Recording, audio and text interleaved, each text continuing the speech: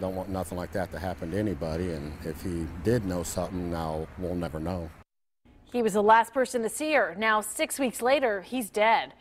A Butler County family searching for answers tonight. 18 year old Marina Bolter grew up in Hamilton. She moved to Bloomfield, Indiana to be with her grandfather, and she hasn't been heard from since New Year's Eve. And now her ex boyfriend, 22 year old DJ Lockhart, who was the last known person to see her, is dead, found stabbed to death last night. 9 On Your Side's, John Genovese spoke with Bolter's father tonight about this new twist in the case. John? Julie, her father says Marina and DJ split up just a few months ago. Now, since she went missing, almost 9,000 people have joined this Facebook page. That's four times the population of Bloomfield. And tonight, her family is trying to stay confident.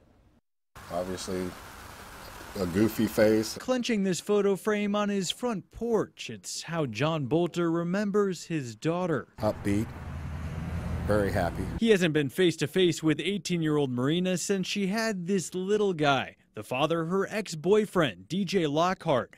Marina moved away from Hamilton. Both were living in Bloomfield, Indiana. She wanted to live out there with her grandpa. He, um, she was here and getting into a little bit of trouble. DJ and Marina split in November. He's the last person who saw the young mother before she went missing. She came out of work on New Year's Eve and got in an argument with her ex boyfriend.